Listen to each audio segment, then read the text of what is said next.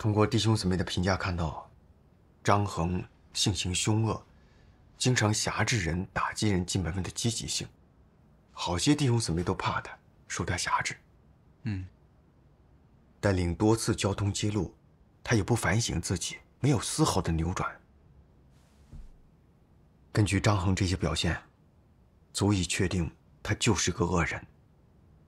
需要尽快和弟兄姊妹交通，将他清除出教会啊！嗯。哎，张衡人性是不太好，也挺狂妄。可是，他毕竟信神时间短，是不是在交通帮助一段时间看看？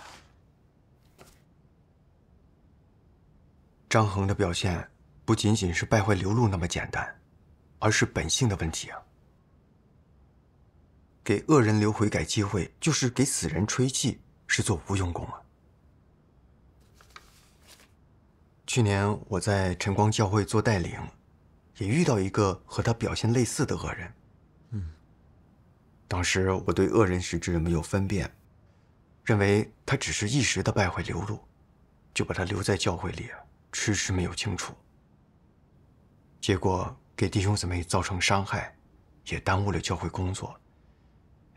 留下了过犯了，哦。后来也是借着读神的话，明白这方面真理，才扭转自己的错误观点，最后把恶人清除出教会了。哦。哎，那你具体说说呗？是啊，嗯，行。呃，那是去年八月份，一天，有姊妹跟我反映，萧炎在教弟兄姊妹维修电子设备时。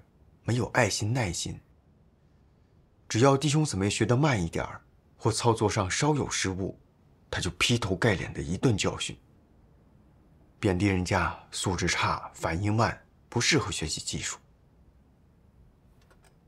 弟兄姊妹感觉太压抑、受辖制，有不会的地方也不敢咨询他了，担心惹得他不高兴，又被教训一顿，只能私下自己查资料。或是再找其他人学习。嗯。后来有姊妹提议，希望能换一个人来教他们学习技术。我听后心想，萧炎在世上就是专业搞维修的，难免要求会高一些。这也是为了大家能尽快学好技术嘛。另外，萧炎信神才两三年，进本分时间也不长。败坏性情流露多一些，这也正常。我还是先交通帮助看看再说吧。嗯。于是我就跟姊妹交通说：“萧炎是新人，啊，血气大点儿，性情狂妄一些，这也是难免的。我们要多担待一点。”姊妹听我这样说，也就没再说什么了。嗯过后呢，我也找了一些神的话跟萧炎交通，并指出他占地位教训人，会让弟兄姊妹受辖制，这样做不造就人。对待弟兄姊妹应该多点爱心耐心。对。萧炎听后也承认自己不对，嗯，接下来愿意扭转变化，还说多亏了我把他身上的问题点出来。这也是他认识自己的好机会，还希望我以后能多给他指点。看到萧炎认错的态度挺诚恳，也愿意反省认识自己，我就觉得他能接受真理，接下来应该会有些变化的，就让他继续教弟兄姊妹技术。哦，哎，那后来怎么样？他有转变吗？是啊。没有。一段时间后，有弟兄姊妹再次反映萧炎的问题，说他还是经常莫名其妙的发火教训人，话里带着排斥打击。弟兄姊妹都有些害怕他。有时明明熟悉掌握的技术，看到萧炎在旁边，紧张的都不知道怎么操作了。甚至有的弟兄姊妹。被他教训的都不愿意学了。有个姊妹操作时出现点失误，萧炎就用手指着姊妹，大声训斥她素质差，学习技术不用心，把姊妹教训的低着头不敢说话。还有个姊妹学习技术相对慢一点，萧炎就当众训斥贬低姊妹素质差，头脑不好使，还让姊妹下次不要来了。姊妹被训的，躲在卫生间偷偷的哭，还说以后不想学了。我听后觉得很意外啊。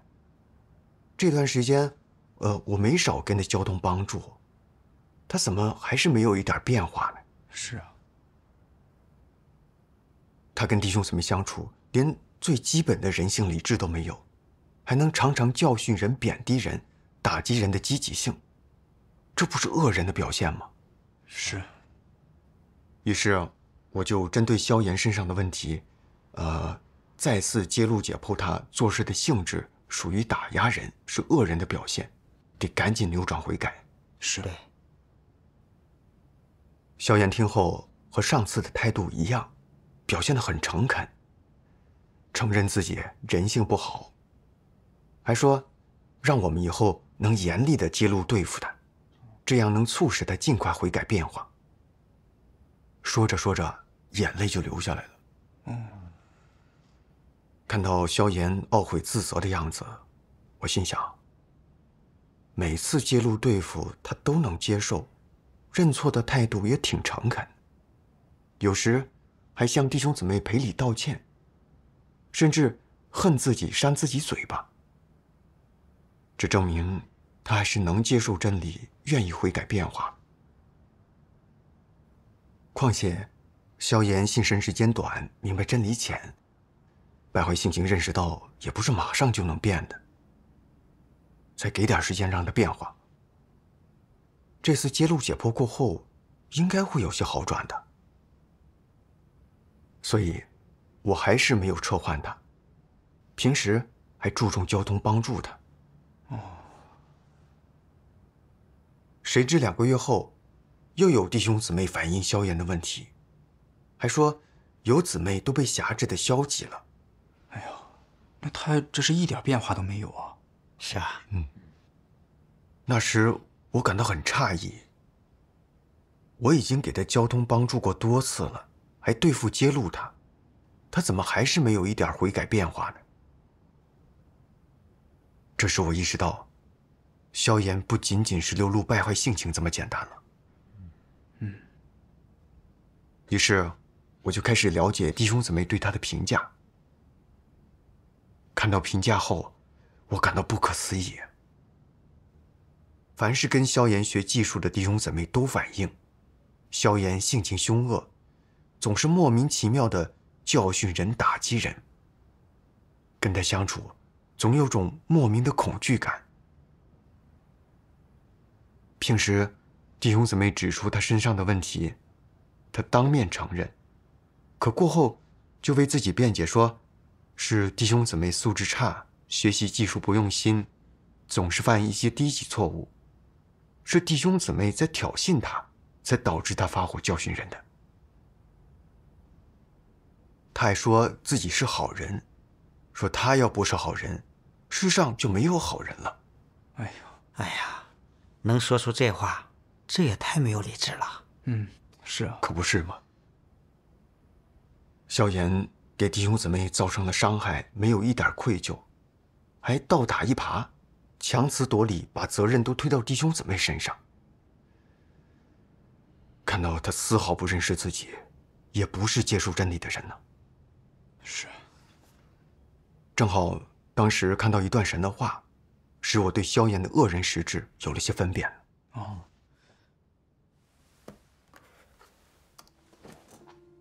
全能神说：“胡搅蛮缠的人做事只考虑自己的利益，随心所欲，说话竟是歪理邪说，不可理喻，满了凶恶性情。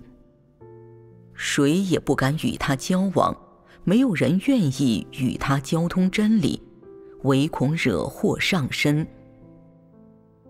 跟他说点心里话，还提心吊胆，很怕哪句话说的不对他的心思，不合他意，就被他抓住蛮横指责。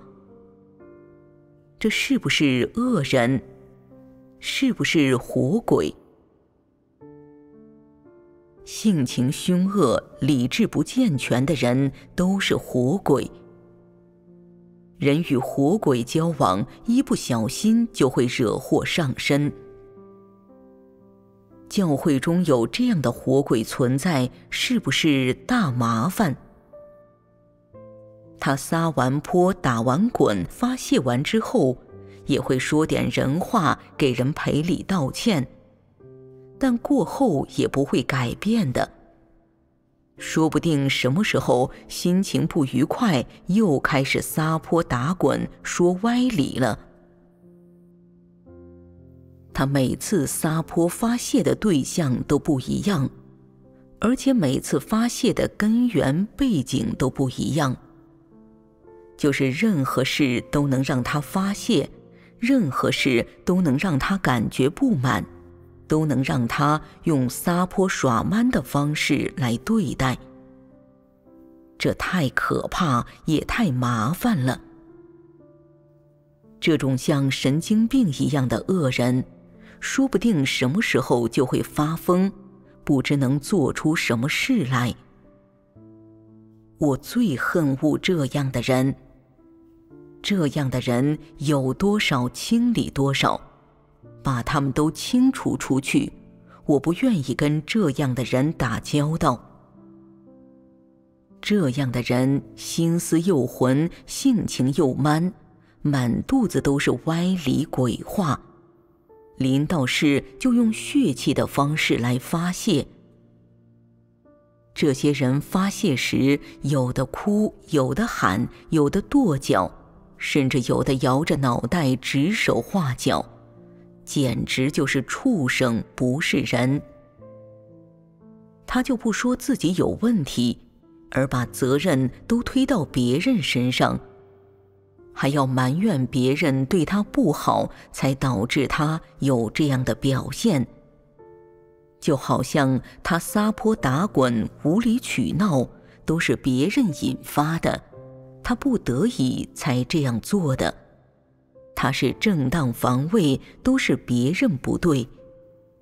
只要他不满意，他就开始发泄怨气，胡说八道，尽讲他的歪理，好像都是别人的错，只有他是好人，别人都是坏人。不管他怎么撒泼打滚，怎么讲歪理，都得让人说他好。做了坏事也不许别人揭露指责。如果你说他一个不好，那就跟你纠缠个没完，你就别想好过了。这是什么人？这就是胡搅蛮缠的人。胡搅蛮缠的人都属于恶人。阿门，阿门。神揭示胡搅蛮缠的这类人性情凶恶，稍不合自己的意就发火撒泼。他们只顾发泄心中的不满，对人贬低论断，恶语重伤，丝毫不顾及他人的感受，没有一点怜悯之心。做出伤害人的事，不仅没有懊悔，还厚颜无耻的用各种歪理邪说为自己的恶行辩解开脱。这种人。没有良心理智，无论做多少恶，都不会有丝毫的悔改。是是。对照萧炎的表现，他就是神揭示的这种恶人。有些弟兄姊妹学习技术本身就没有多少基础，操作慢点儿，出现点差错，这都是很正常的。有点人性理智的人都能理解胆量。是是。可萧炎对待弟兄姊妹。就跟对待仇人一样，稍不如意就发火训斥，并且还能随意的挖苦贬低，打击弟兄姊妹的积极性，性情中带着恶，给弟兄姊妹带来伤害。期间，我多次给他交通帮助，也严厉的对付揭露他这些表现的性质是在打压人，是恶行。他当面不讲理、不反抗，接受的态度看着也挺诚恳，并且还能向弟兄姊妹承认错误、赔礼道歉，甚至流下懊悔的眼泪。可一转脸就变样了，就为自己诡辩。过后一而再、再而三、屡教不改。可见啊，萧炎丝毫不接受真理。当初满口答应愿意悔改变化，都是骗人的鬼话呀！是是，他给弟兄姊妹造成这么大的伤害，他不但不懊悔自己，还倒打一耙，说是弟兄姊妹在挑衅他，才导致他发火教训人的。他实在是太不可理喻了。对照神话语的揭示，萧炎就是这类胡搅蛮缠的恶人。他不但不适合再尽这个本分，还应该尽快将他隔离，清除出教会。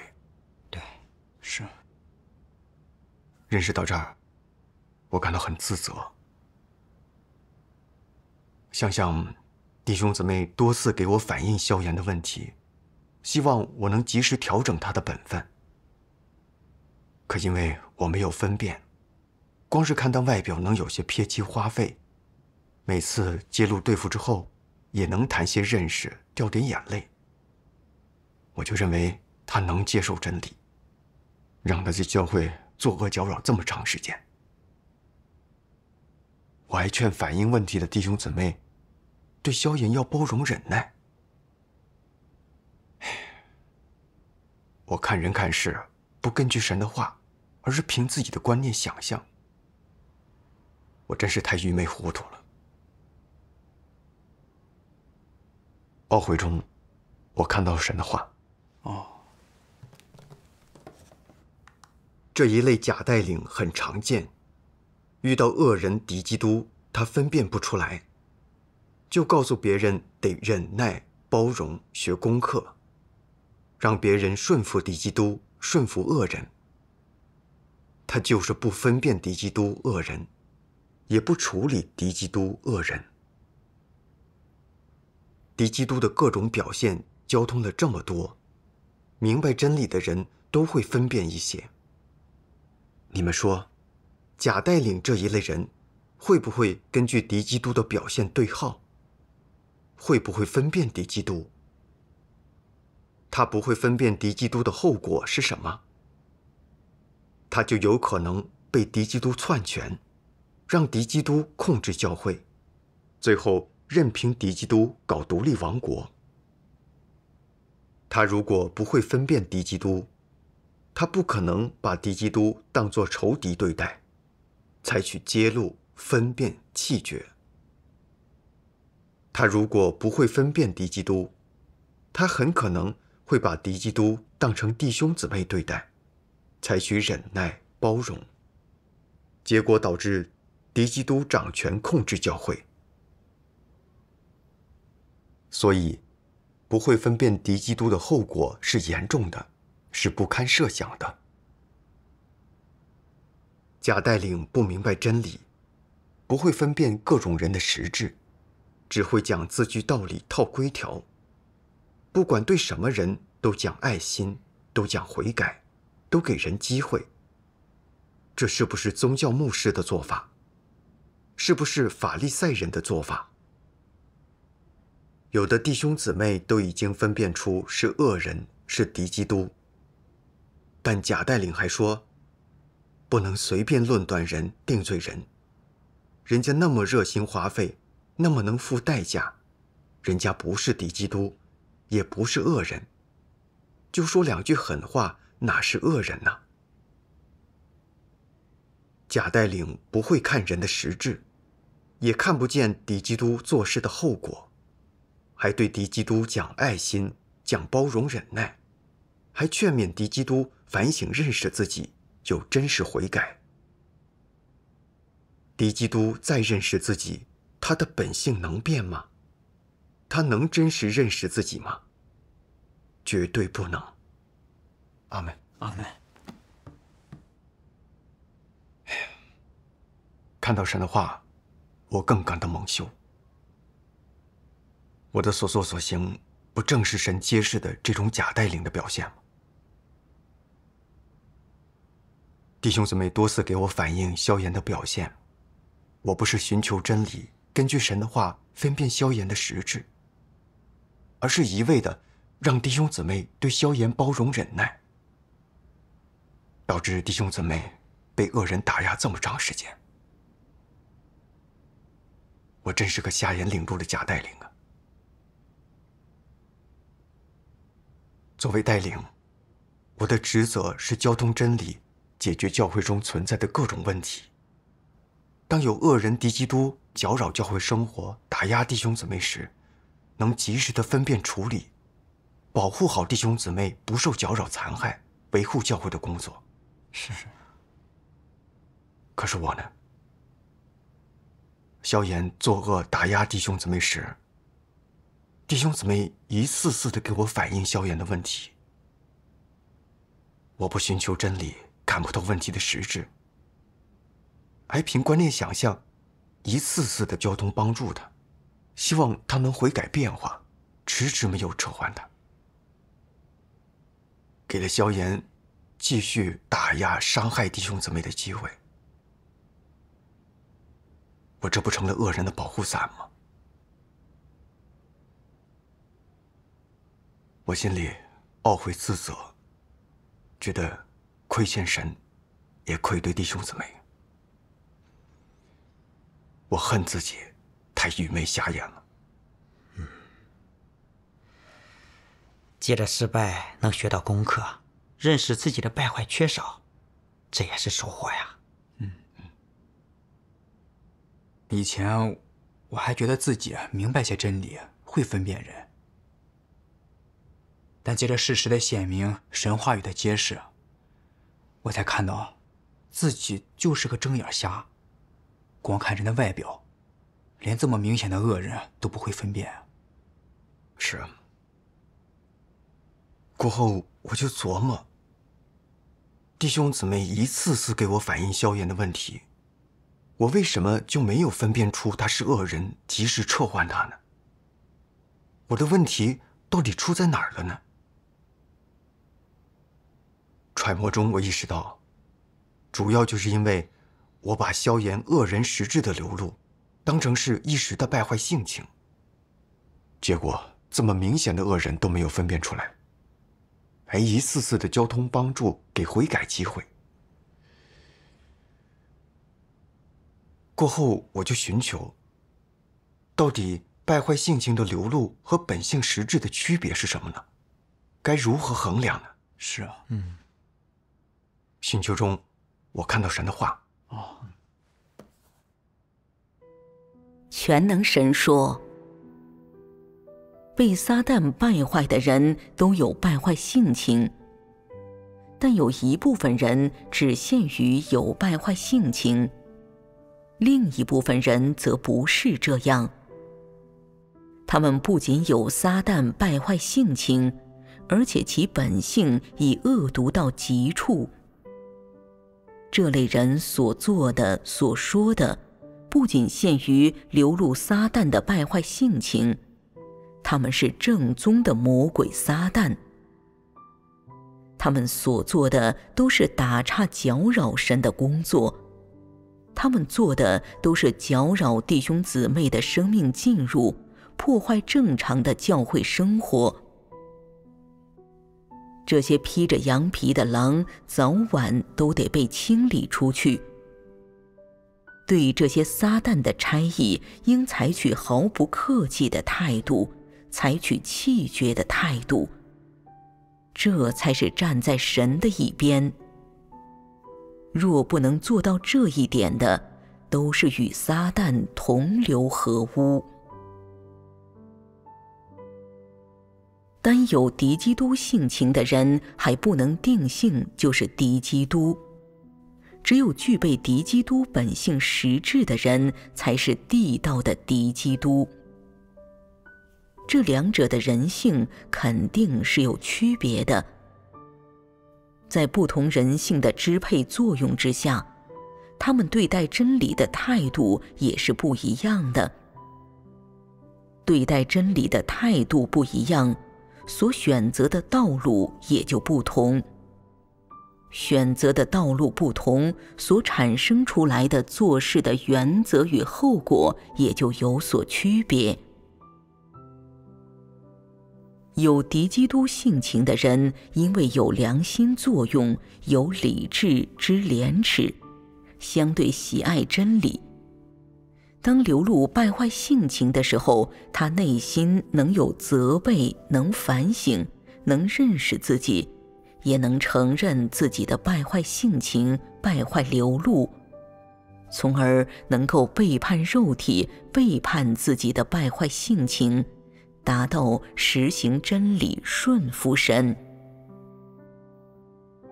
而敌基督则不然，他因为没有良心作用，也没有良心知觉，更不知廉耻，所以当流露败坏性情的时候。他不会根据神话来衡量自己所流露的是对还是错，是败坏性情还是正常人性，到底是否合乎真理？他从来不反省这些。那他是怎么表现的？他始终坚持自己流露的败坏性情与选择的道路是对的。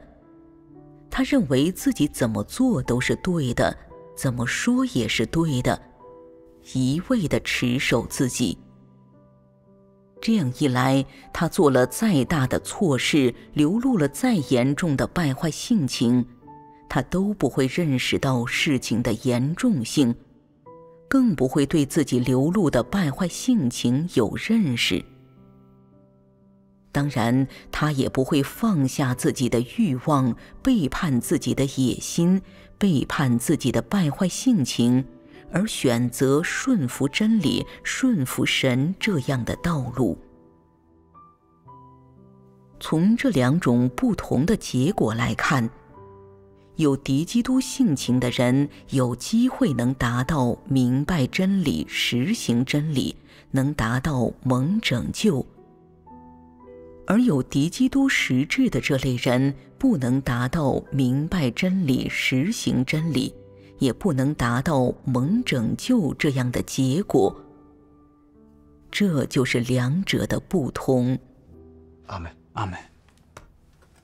山的话把败坏性情与本性实质的区别说得很清楚啊。嗯，是啊，是啊。从神的话中，我明白了。衡量人是一时的败坏性情流露，还是属于本性实质的问题，一方面看他有没有良心理智，他做的事是否超过良心理智的底线；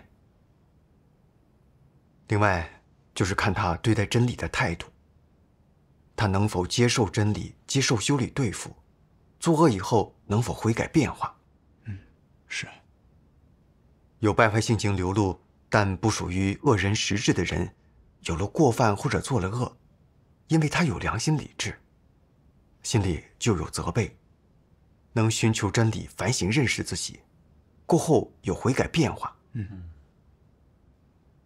而有恶人实质的这类人，他们丝毫不接受真理，本性厌烦真理，仇恨真理。另外，他们没有良心理智，不管做了多少恶。给教会工作带来多大亏损，给弟兄姊妹带来多大伤害，他们都没有良心知觉，不感觉亏欠，更不会反省认识自己。嗯，是。无论神的话怎么揭示，弟兄姊妹怎么修理对付，他们都不会有丝毫的悔改变化。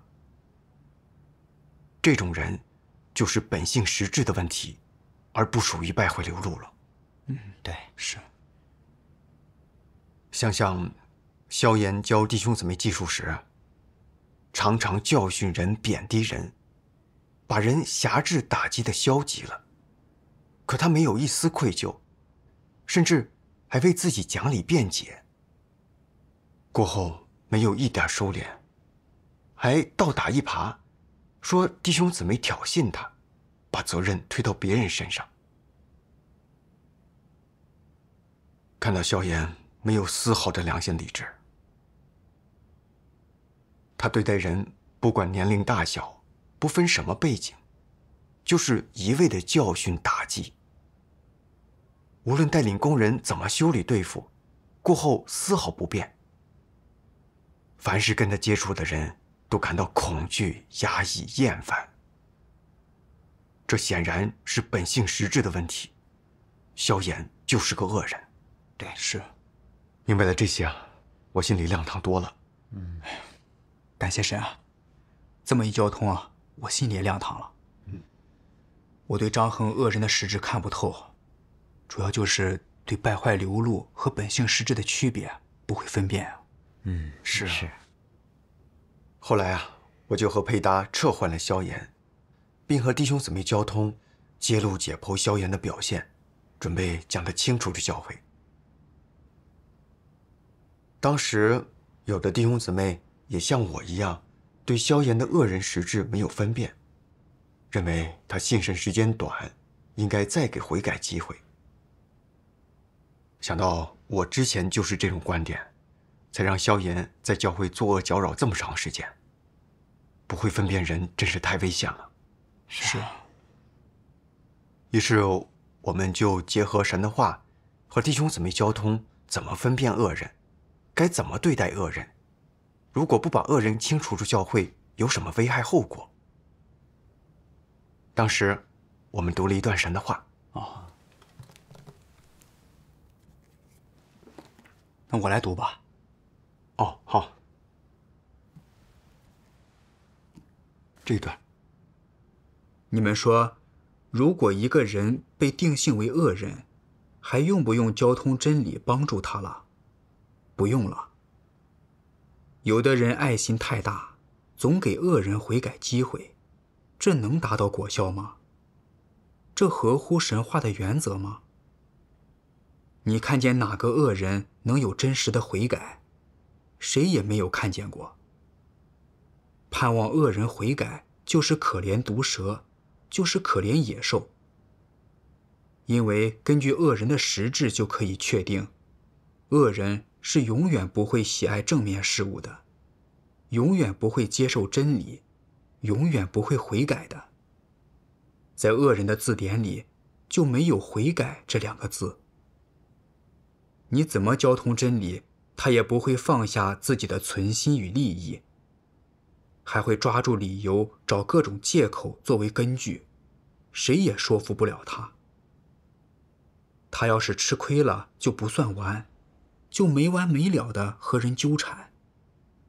这样的人一点亏都不吃，还能有真实悔改吗？太自私的人都是利字当头的人，都属于恶人。是永远不会悔改的，阿门，阿门。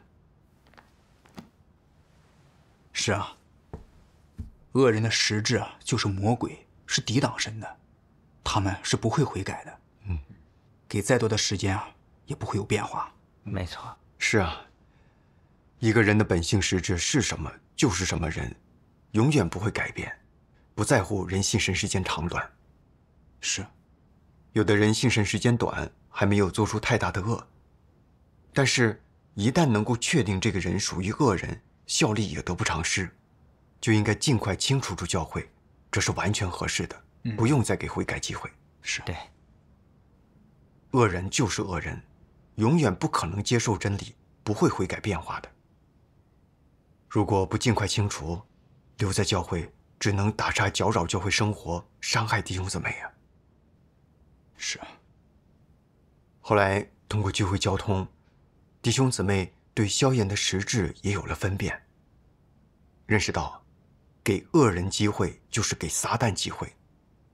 把恶人留在教会里，就像在教会里埋下一颗定时炸弹，随时都能打岔搅扰教会工作。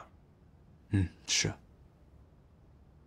后来，经教会百分之八十以上的弟兄姊妹通过，将萧炎清除出了教会。